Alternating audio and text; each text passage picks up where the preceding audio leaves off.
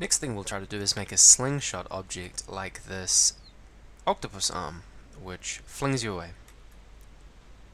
So when the player steps on it, it rotates back and charges up, and then flings them away depending on how close they are to this uh, point down there.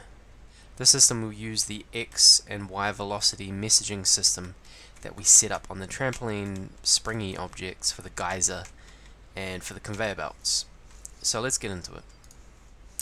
You could probably use a bunch of different objects as a slingshot, but I've used this octopus arm, so let's go and add a script to it. Like I said, it's going to rotate back and then fling you forwards. First we should make it immovable, so we'll say when created set immovable to true, that's from physics. Then we needed to detect if the player touches it, so from physics again we want when I'm touch get toucher and we want to ask if it has if the toucher has tag player. So we need an if. And then we want from sensing myself has tag get rid of myself. From variables we have instance toucher. We want to know if the toucher has tag player. And the way that this slingshot arm is going to get triggered uh, it's going to just have a variable that we set active and then constantly in the constantly loop it will decide how it behaves because it needs to spend some time charging up.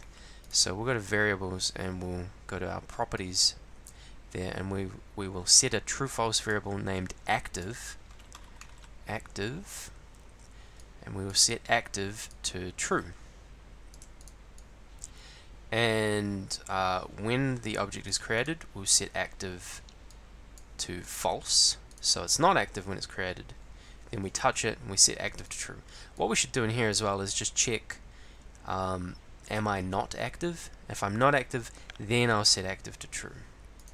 So from control flow we will use this if block if active equals false.